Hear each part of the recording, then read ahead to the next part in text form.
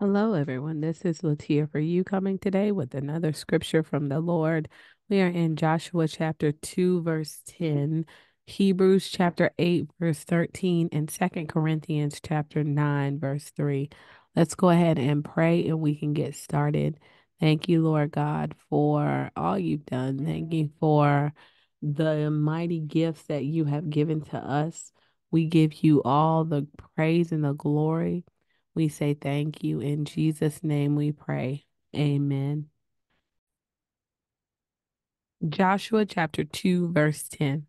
For we have heard how the Lord dried up the waters of the Red Sea before you when you came out of Egypt, and what you did to the two kings of the Amorites who were beyond the Jordan, to Sihon and Og, whom you devoted to destruction. All right, and so we know that this is specifically speaking about Rahab um speaking to the spies um, about what the conquest of Israel um and this she started out at the Red Sea, right? The deliverance of the Hebrews from Egypt, which had been 40 years earlier, right? So the fear began over 40 years earlier right? That their hearts began melting 40 years earlier when they were delivered out of Egypt and when they crossed the Red Sea, that great and mighty miracle was still in the minds and in the hearts of people. And so, um, you know, you can look at it as if it's just um just the the children of Israel, but they knew that it was more than just the children of Israel, but that God was on their side. And so their hearts were in fear, right? And and that was so much to the faith of of of the people, right? When you know that the enemy doesn't have anything on you right? The enemy is has is not to be compared to what your God can do for you. That is an amazing thing, right? It can help you move forward. It can help you grab hold of of the things that are ahead and it can help you press on. Why? Because it's not about you, it's about God and his will being accomplished on earth as it is in heaven. Stay with God stick with God, right? He's gonna he's gonna perform mighty acts and wondrous works. Yes, you may be going through a dragging time. Yes, you may be having a hard, hard bout, right? But God knows where the end is. God knows just how far He can push this thing and birth this character in you. He can cause you to be lifted up. He can cause your mindset, your countenance, your your um perspective to be changed. Lord, help our perspectives right so so make sure that you are not as as the children of israel who did not enter into the rest were right you want to walk by faith and not by sight you want to see the giants in the land and say we could take them right you don't you don't want to have that mindset of oh we're like grasshoppers right? We don't need to have that grasshopper mindset. We need to have that uh, we can take them mindset. This land is ours mindset. Amen.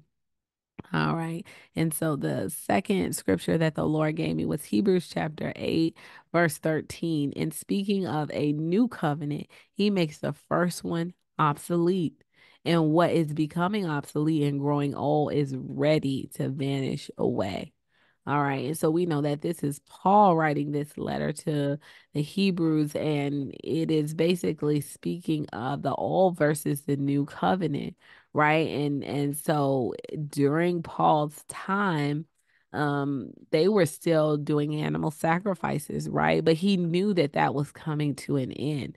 And so that's why he's speaking of the old covenant being um becoming obsolete growing already to vanish away. And remember when they ended it um the this time um and the temple was um ransacked it was never enacted again and so it still to this day has not um begun um again. And so it says, in speaking of a new covenant, he makes the first one obsolete. So it is, it is outdated, it is outmoded, right? And so it says, and what is becoming obsolete and growing old is ready to vanish away. So God has a new thing in store for us, right? And so we know that it has vanished away right? That old way of doing things, that old animal sacrifice system. Um, we're speaking of the new covenant, right? We're speaking of what God is pressing us into now. But guess what? The reputation of God is still there, right? His power, his greatness is still there.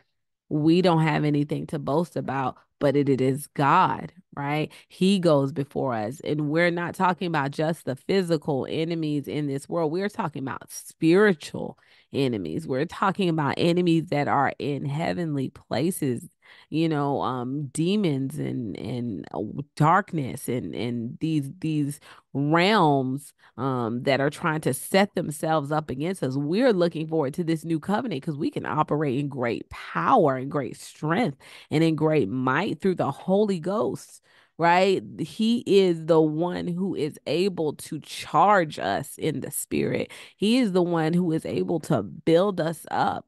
Right, so that our boast is not in ourselves, but in the Most High God, who is all powerful. We need to realize that it is His reputation that the enemy can see, right? When the sons of Sceva came in and they were casting out these demons and they did not believe, they were saying um they weren't they weren't preaching in the name of Jesus. They were speaking in in the name of Paul who preached Jesus or something like that. It was like a one off, right? And the the the enemy said, you know, Paul do the demon said, Paul do I know I know, but Jesus I know, but who are you? right? It, it's the power of God that we are operating in. It is Christ Jesus himself that we can flow in, right? You have to know him who for yourself right? It, these things are these things are spiritual matters right? And and we have to realize that that the enemy can see whose team you're on. The enemy knows where you come from. You have a reputation and it's not built in how many how much you've done. It's built in the power of god that you have operated in right? God's power not our own, but God's power, God's flex, right? He doesn't even have to flex, right? He's God. he does, right? So it says, in speaking of the new covenant, he makes the first one obsolete, and what is becoming um is what is becoming obsolete and growing old is ready to vanish away.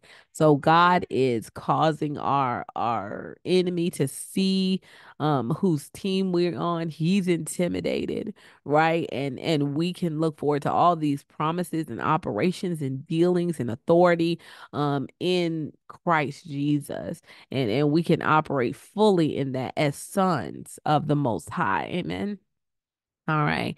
And so the um the second the third scripture that the Lord gave me was Second Corinthians chapter 9 verse 3. But at but I am sending the brothers so that our boasting about you may not prove empty in this matter, so that you may be ready as I said you would be. All right. And so this is Paul talking to the Corinthian church, and he is um, making his brag in the Lord about the Corinthian church, right?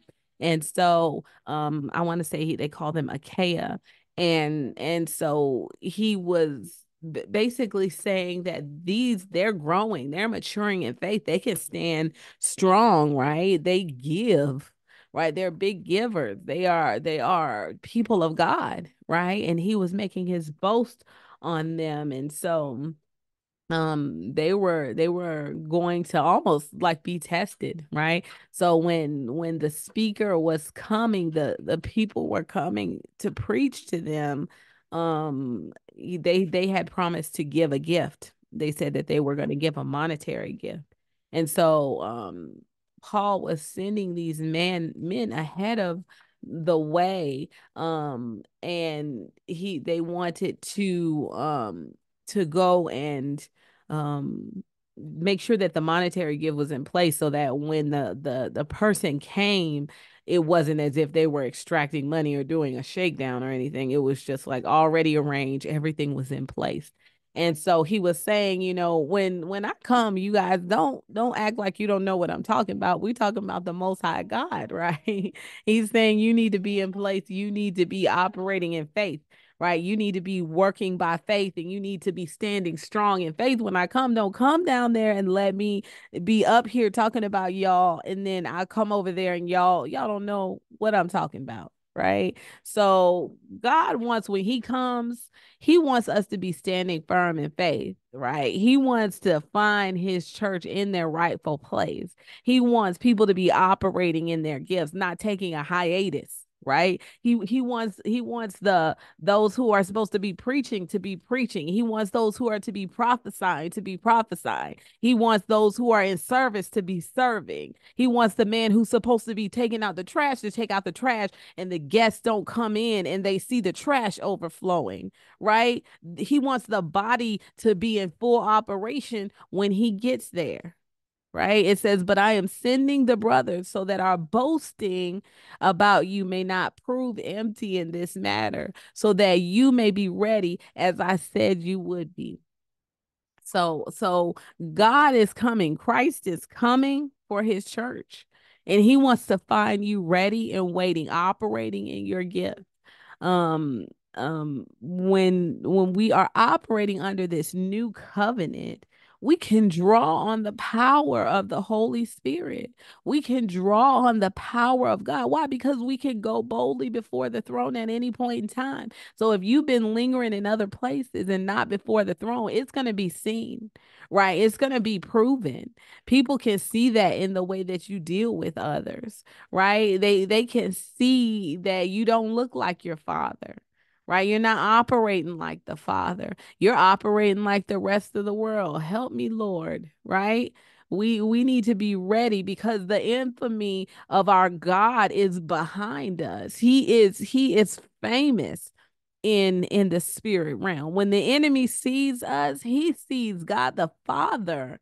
He don't he don't see us right? He sees that huge angel that's standing behind you. He sees Christ Jesus at your side, right? Your rear guard, right? He sees those things. And so you looking at it like uh, it's me, right? He's scared of me. No, he's not scared of you. He's scared of the most high God that is behind you right? God is shining down on you. Let your boast be in the Lord and be in place when God comes. Don't be in some other place saying, oh, this is what I do. Right? This is how I am. This is who I am. And you're you're over here doing other things when God is saying, Hey, I'm coming. I'm coming. I'm letting you know, right? You're supposed to know me. You're supposed to be of me. So so be in rightful place, be in right standing. Um, I I once uh had a, a dream and the dream disturbed me so bad and and I remember, you know, the Lord telling me to go to a certain specific um place it was it was after the altar call it was for those who were getting saved and for me to go through there and um get prayer and so I was like I don't want to go through all of this because I don't want everybody to think I'm joining the church and I've been part of the church for a long time. And so, um, not a super long time, but you know, long enough to where it would be noticed if you went up to the altar um for salvation. And so this was what the Lord told me to do, and I did it. And I went to the back because I wanted prayer about this one dream that I had. And uh, the woman of God that was there, she just was ready in power you know she was a woman who was you know administering in her capacity um which was new members and salvation but when i tell you i went to this woman it was just a woman who was in power ready and waiting to impart that anointing right and so we that's how we have to be right we we can't say oh i wasn't expecting it i wasn't ready right? Let me try again. Sometimes you don't get uh, uh another ready, let's go, right? Sometimes you need to be ready, right? When you're in Walmart, you need to be ready.